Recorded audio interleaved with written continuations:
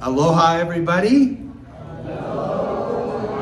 Welcome to church. We are in John chapter 8. If you've uh, found it already, we'll look at the first 12 verses and then we will pause next week for Palm Sunday and uh, Easter the week after, and then we'll come back to John chapter 8 in a couple of weeks. But this is a great passage to uh, pause and reflect on after we teach it. Uh, 12 short verses, but powerful verses. You remember, Jesus is still speaking in the temple, and uh, he has been challenged by the Jewish leaders. He is already uh, threatened uh, by those who despise him to take his life. And yet he is boldly speaking in which will be one of his last major public appearances at the temple before the next feast of the following season, which will be Passover, and he'll be crucified.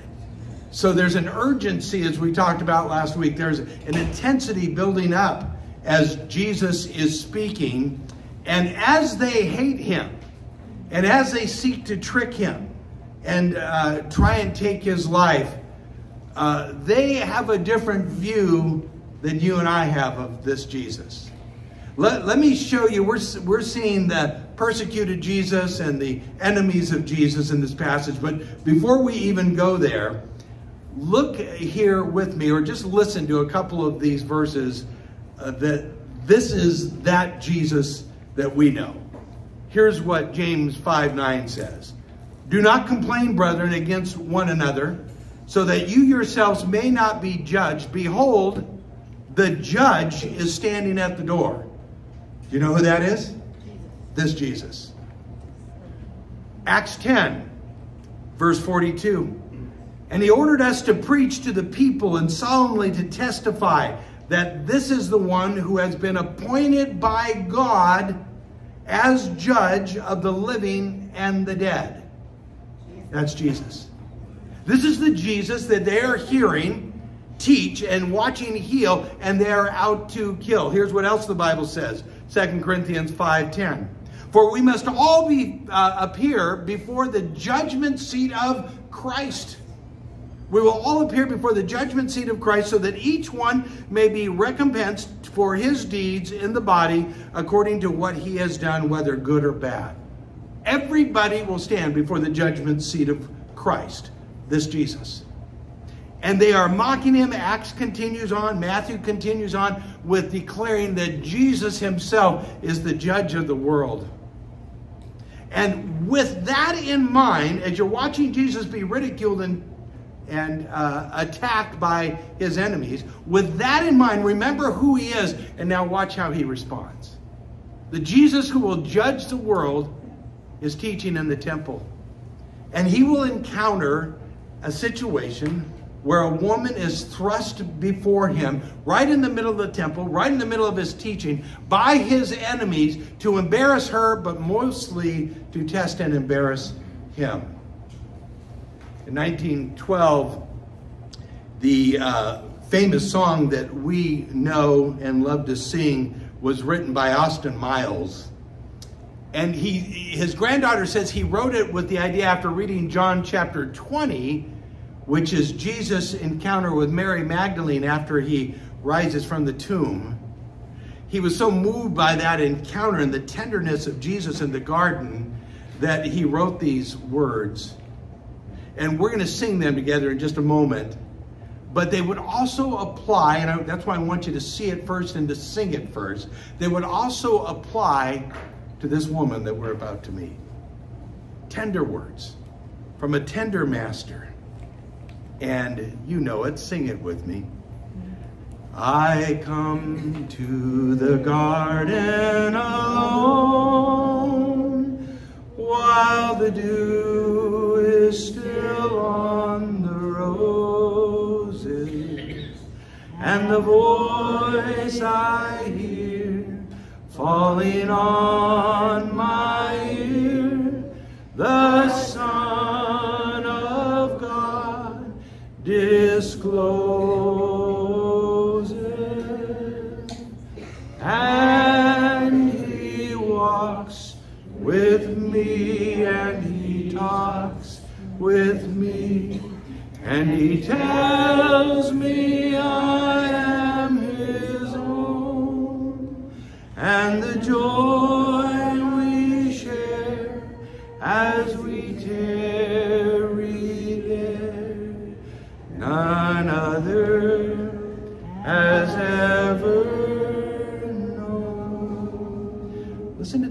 the intimacy of this second verse. For some reason, we typically only sing it at funerals. But listen and see if you can take your place to that time when Jesus interrupted your sin, when Jesus forgave you and took you out of a shameful situation. Second verse says, He speaks, this master, this judge, this God man. He speaks, and the sound of his voice is so sweet that the birds hush their singing. That's the judge. That's the God man. And the melody that he gave to me within my heart is ringing. And the response then from Austin Miles would be the same response of Mary Magdalene and same response of this woman we're about to meet, and the same response of many in this room who have encountered Jesus after uh, a, a recognition of their sin. Sing it with me. I'd stay in the garden with him, though the night around me be falling.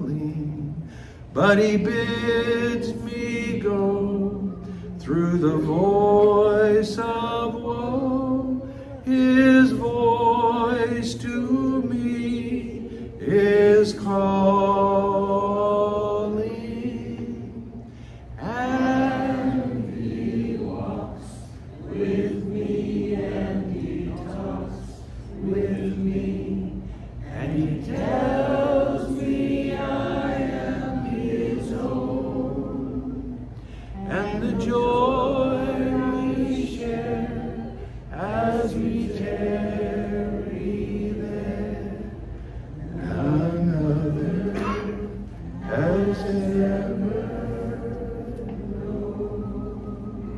You just sang a testimony of your own salvation. The joy that my Heavenly Father, through Jesus Christ, and I share is like nothing that can compare. He rescued me from the pit of hell. He rescued you from your sin, from when you stray, and He even took the shame away. With that boldness of your testimony, with what you know about the true Jesus, not what others say, not what the world thinks or doesn't think, but with what you know of your own testimony, come into the temple with me. Jesus will be sitting as he teaches. The crowd will be standing. And here is the account from verse 1. It was early in the morning. He came again into the temple as he had done last week's study. And all the people came to him. The popularity had grown. They knew the controversy, they knew the healings, but they were awestruck with the teaching. So now they're coming early in the morning to hear him teach. And all the people came to him, and he sat down and taught them. So, unlike you sitting now while I'm standing, it was just the opposite. The people in the temple would stand, and the rabbi would sit. That was the custom, that was what they were used to. And in that position, he is teaching with the same authority from what you read out of these words, with the uh, expression and authority that struck the temple guards. Do you remember last week? So they had to respond to those who wanted him arrested, saying, We've never heard a man like this talk before. He has an authority that we, we can't get. That's the setting, that's the intensity, that's the kingdom of God present on earth, and he begins teaching them. Verse 3 tells us that the scribes and the Pharisees, you'll hear me often refer to them as the Jewish leaders. Sometimes they're just called the Jews. But here they are, the scribes and the Pharisees who were set to make him die. They enter in, and it says to us, they brought to him a woman caught in adultery. You know the story. And you know some of the background of what Jesus has already addressed. But understand, first of all, who it is and when they do it. These are loathing people to kill Jesus. And now, in order, we'll see it later in the text, in order to catch him or test him, they're setting him up. They think if we can just set him up in this trap, we'll get him. How he responds to this situation may take care of all of our problems. And notice that they didn't do it after the teaching. They didn't say, hey, Rabbi, we have a situation of sin here. Can you advise? But they both want to publicly humiliate the woman and they want to publicly humiliate and catch Jesus in his teaching. So there it is. The scribes and the Pharisees brought to him a woman caught in adultery. Now, you think like I think when you study this passage. Adultery takes two people, they bring one. They bring the woman. The man is never mentioned. And uh, it is a lot of speculation in this passage, but beyond that speculation, it is the woman caught, and we will find in a moment that she's caught in the very act of adultery. So this uh, woman has been dragged into the temple in front of this rabbi, teacher, God man, and they propose uh, that you're about to read with me. They propose that he solve the situation. And here's how they do it. And as he's teaching, the Pharisees, Sadducees, and Pharisees brought him a woman caught in adultery. And when they had set her in the midst, they said to him, Teacher, Rabbi, this woman was caught in adultery in the very act. Which, if you look at the situation again and the setting, they bring her from the very act and put her in the midst of the crowd, in the midst of Jesus, probably uh, parted the crowd. Remember, they're standing. And Jesus is sitting, and as he's teaching, he looks up and he sees the crowd separate. And this woman, with her head no doubt bowed in shame, perhaps her hair hanging to cover her face, is dragged and thrown before Jesus as he teaches. And you saw there questioning their statement Teacher, this woman was caught in adultery, the very act. That means that they were watching more, what's well, clearly a setup, and more than likely set it up so that they could catch her with this in mind. And here is their statement with the situation. Every eye is on this woman, and every eye is on Jesus. And here's what the Jewish leaders say. Now, Moses, here's the situation. She's caught in the act of adultery. Now, Moses, in the law, commanded, get that word? We are followers of Moses. We're followers of the law. And he commanded, no option. He commanded us that such, meaning a woman, a person, caught in adultery, such a person should be stoned. That was their execution. But remember where they are. They're in the temple in Jerusalem. They, there is a Roman law that supersedes their law. Keep this in mind. And so, however Jesus responds to this, they're prepared to nail him either way, literally in a few weeks. They'll nail him to a cross. But their attempt now is to catch him in some theological, uh, not so much a debate, but dilemma, and to see how he will respond. Moses tells us that this person should be stoned. But you, Rabbi, God man, what do you say?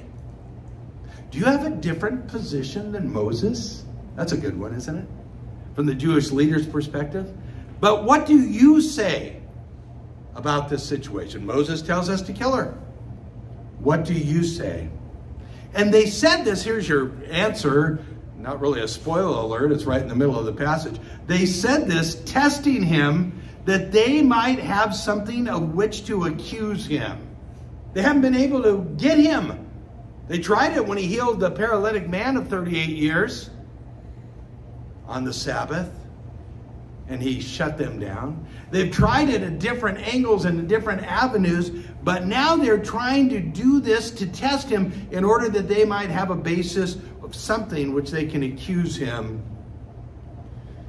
I'm somewhat of a student of uh, the reactions of Jesus, the response of Jesus, especially in high tense situations. This would be one of them, wouldn't it be? How he responds not just with the words or lack of, but how he responds under pressure. I would love, it's a, it's a life goal of mine to emulate that, to, to respond like Jesus does. Here's his response in the nonverbal. It says, after the presentation of the challenge, they wanted something to accuse him with. It says, but Jesus. This is like a but God moment, isn't it? The tense environment is there. The gotcha question is out. Moses says this, what you gonna say, Jesus?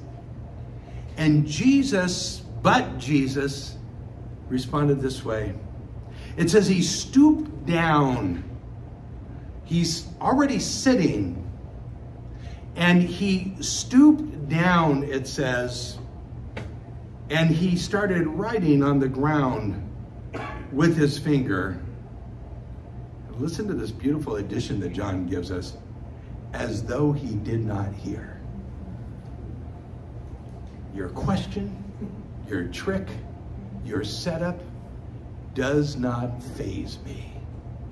In other words, Jesus ignored them and he went to the, from the sitting position, he went to the stooping position. And you'll find out as he stoops, he's right in front of this woman. In other words, he goes from a humble position of teaching in a chair to a stooping position in front of this woman, and he begins to write on the ground. Just for a visual, again, you're sitting watching me standing but the point of view from the audience would have been from what you're seeing now as I teach you to this.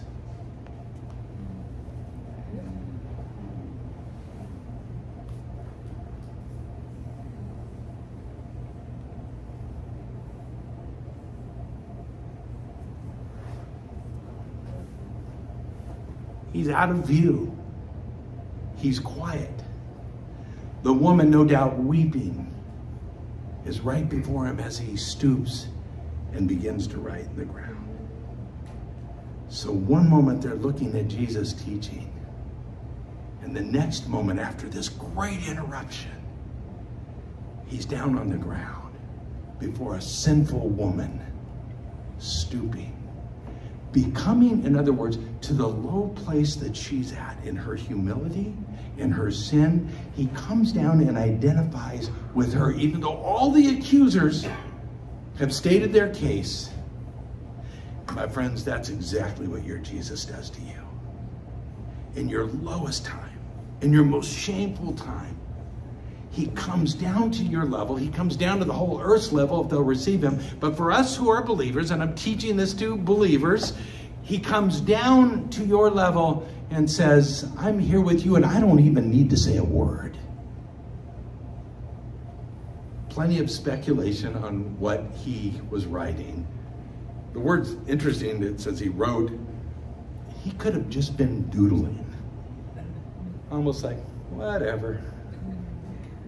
Or, you've heard the speculations, he could have been writing all their names down and times and places where they've committed adultery. It's speculation, we don't know. But he is at her level, not their level. And as he stoops and as he writes, could you imagine the absence of sound in that room? It must have been stunning as though he did not hear. But they're persistent. Look at verse 7. So when they continued asking him, not going to let this go. I mean, we worked hard to set this up, and we caught her.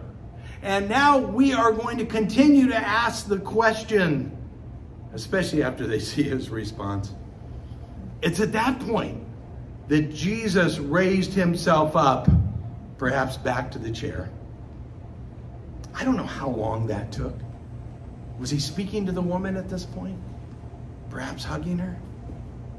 Maybe he actually wrote in the ground John 3:16. For God so loved you that he sent me that who knows? Speculation. But now he's back up, perhaps in the chair. He raised himself up and said to them, He who is without sin among you, let him throw the first stone at her. And then, again, he stooped down and wrote in the ground. When he finally becomes verbal after the teaching time, and this situation interrupts all of that, he comes to her level, ministering to her by his very presence, ignoring the accusers, and when they continue to accuse and continue to press for an answer, he raises up with this wonderful statement He who is without sin among you, let him throw a stone at her first. Let me tell you what that statement is not. Finding the perfect person in the room that day. There was only one, and he's stooping on the ground.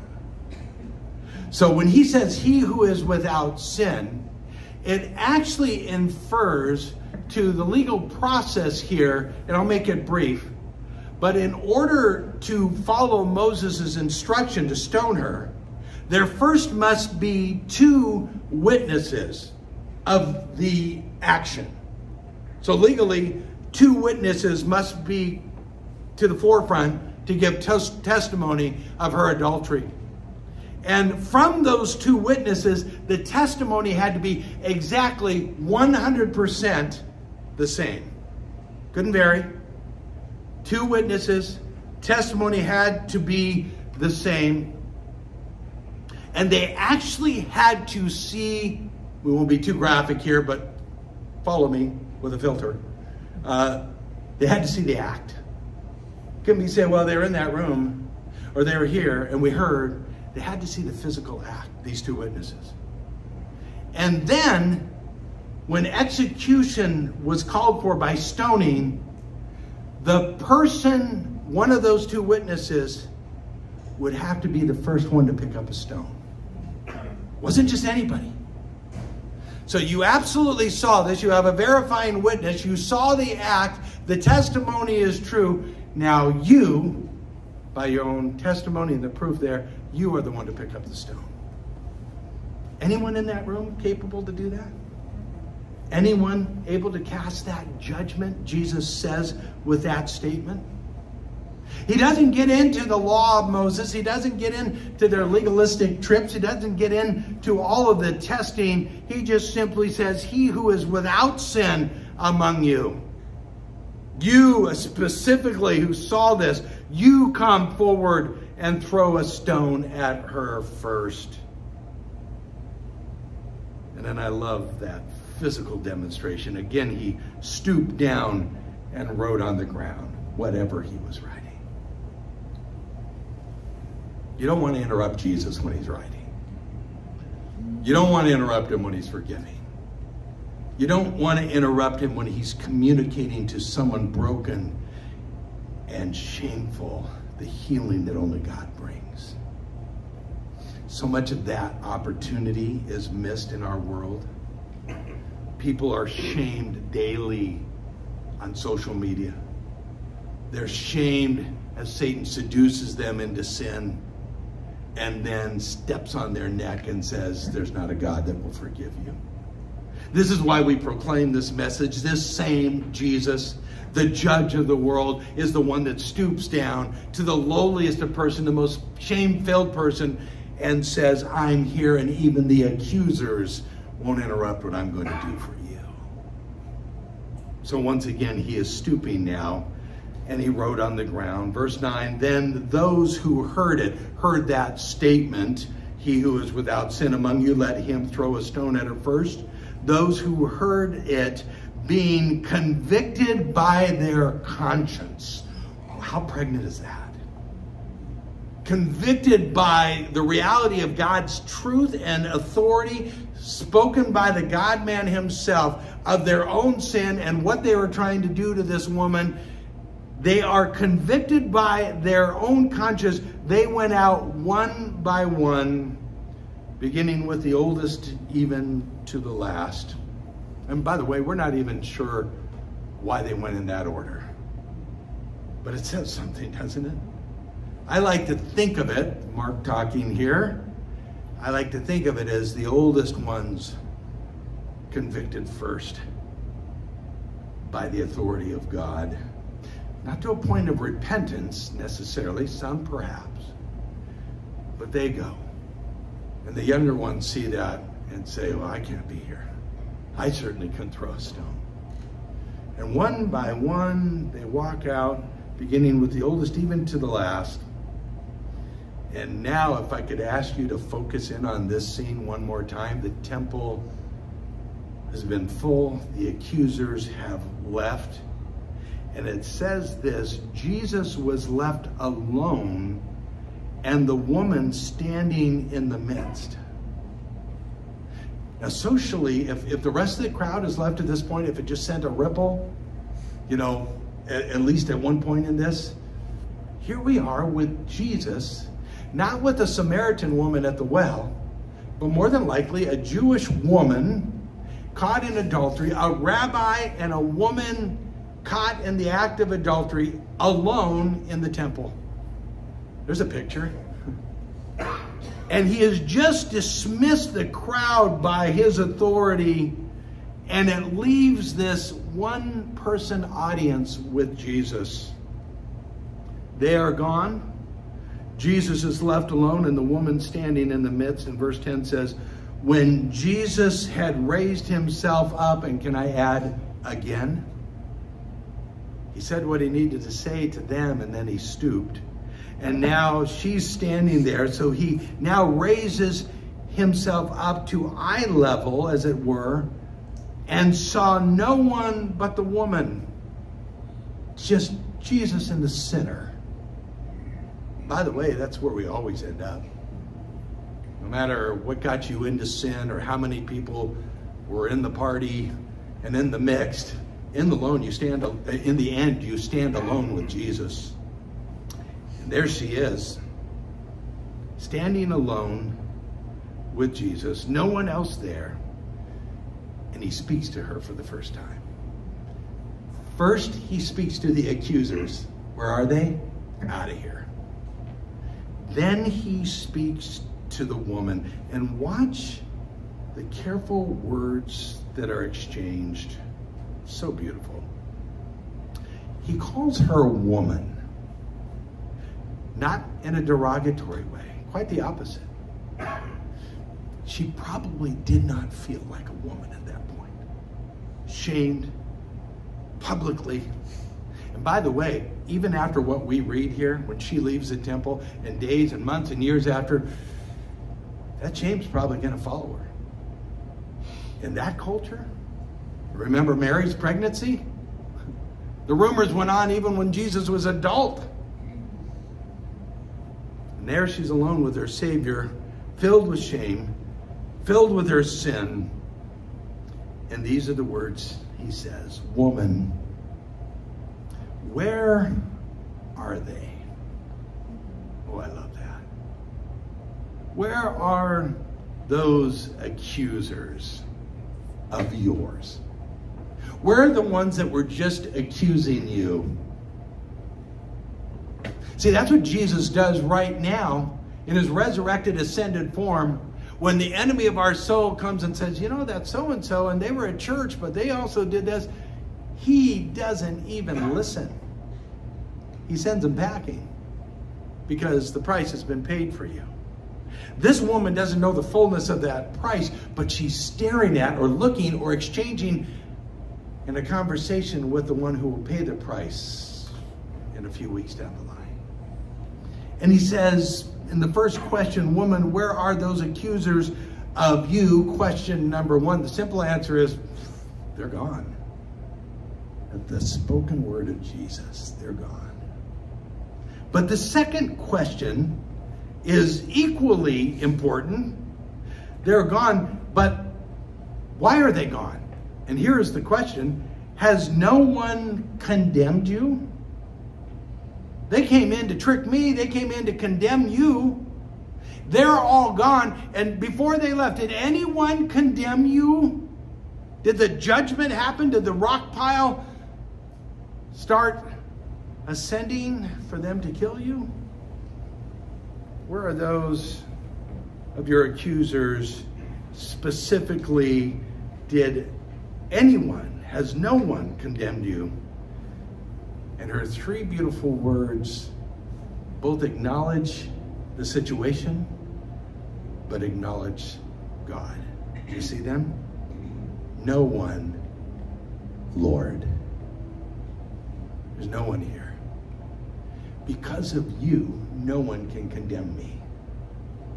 And when comes when it comes to this judge that we read those verses about at the beginning of our study this morning, that judge who will judge the world says to believers, there is no condemnation in Christ Jesus. And that is first and best illustrated right here. She says, No one condemned me. You are Lord. No one condemned me, Lord. And Jesus responds to her, Neither do I. That's a nice summary, isn't it? What you going to do about Moses? What you going to do about the law? By the way, if he would say, yeah, go ahead and kill her. Go ahead and start throwing rocks at her. He would have been in trouble because the Roman law superseded that. And he would have been violating them, but didn't go there. Jesus says to her, no one, neither do I condemn you. There's no condemnation in Christ Jesus. You're staring at him. There's no condemnation from this judge because you are set free. I love that when Jesus does that with our sin. And it's available to the whole world if they'll simply say, Yeah, I'm a sinner. I know it's very confusing for some out there, but not for believers. From identity issues to legal issues to polit political issues, it's confusing to the world, but it's not confusing to us. We serve the true God, we serve the true judge, and he does not condemn all who will repent of their sins and come into relationship with him. But he also loves us so much that he illustrates through the statement to the woman, Neither do I condemn you. Now you go from here, but sin no more. Wow. That sin got you in a lot of trouble, didn't it? That was embarrassing.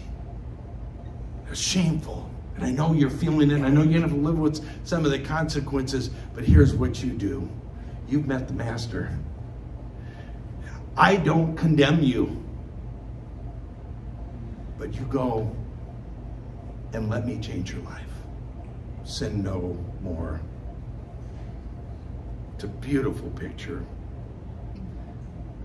We're, we're actually going to start when we start after Easter in verse 12. But I, how can you leave this passage without reading verse 12? Then Jesus spoke to them again. So maybe the crowd has returned by this point. And here's this beautiful statement that you know. And he said, I am the light of the world. Hey, the whole temple was very dark with that situation we just studied.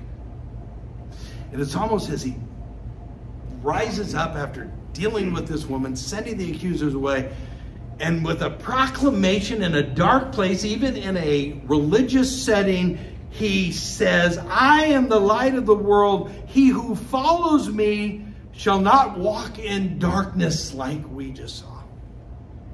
All you have to do is follow me, and you will not walk in darkness, but instead, you will have the light of life. That woman just received the light of life the accusers went out back into darkness. But Jesus says, Accusers, where are they? No one condemned you, and I don't condemn you. And she is restored into uh, the most intimate walk. We're not introduced to her again. She's restored to the most intimate walk, the garden experience that Mary Magdalene had. And anyone who has ever been shamed in a shameful situation for your sin, or if the enemy tries to bring back something from years ago from your sin and you've taken it to the Lord, there's a couple things you must know before you leave here. Jesus takes care of your accusers and Jesus takes care of the sin when you humbly and brokenly, as she was, come to him. He stoops down to your level and he says, No one's condemned you. I don't condemn you. I can even take care of your shame. We need to step into that with boldness. We need to recognize the intimacy of our relationship with Jesus Christ is not only saved our sin and saved us from hell, but he wants an intimate garden walk with us. So that we too can say, daily I walk with him. And I talk with him in my prayers. I study his word. I share it with others and, and the joy that we share, you can't compare. There, there's no man that ever treated this woman like Jesus treated her and elevated her and continued to say, I'll take care of you and all that happened to you because I'm the light of the world. And he who follows me will not walk in darkness, but have the light of life. Do you have the light of life today, friends? Celebrate. Thank Him before you leave here today. The shame is gone. Victory is yours. You can walk and talk with Jesus without jumping across a canyon. You can call Him Daddy. You can say, The shame is taken care of. And you can go boldly, as this woman did. Oh, there would need to be some healing. But it began right there. That's a message I love to share focus too much on the confusion of the world and I get depressed. If I focus on the solution for the world, I walk with confidence in the light of the Word. Would you pray with me?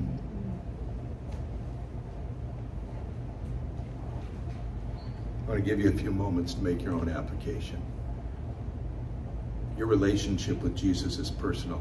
And probably as I've been teaching, something has come up, maybe of your past, maybe something you're struggling with this morning, this same Jesus will stoop down, meet you right where you're at emotionally, right where you're at spiritually, right where you're at physically.